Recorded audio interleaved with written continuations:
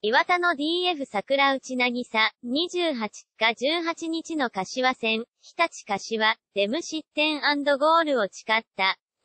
この日、岩田市内で紅白戦を行い、主力組の右 MF で起用された。積極的にサブ組のボールを奪いに行った。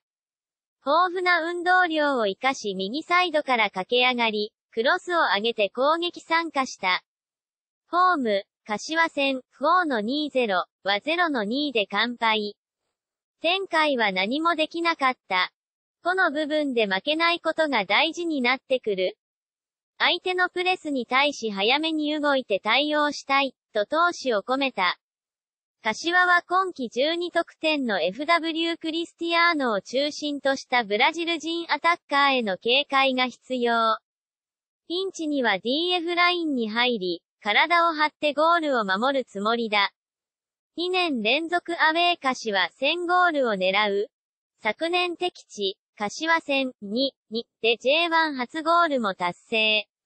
相性のいい日立大での戦いに、自分もタイミングが合えば、攻撃参加したい、と話す。チームは現在6戦負けなし。4位、柏とは直接対決なので勝てば順位がひっくり返るので面白い戦いになる。残り3試合自分たちの戦いをしたい。アクル出場圏内の3位 C 大阪とは勝ち点差3。背番号5が柏戦勝利の鍵を握る、山中幸。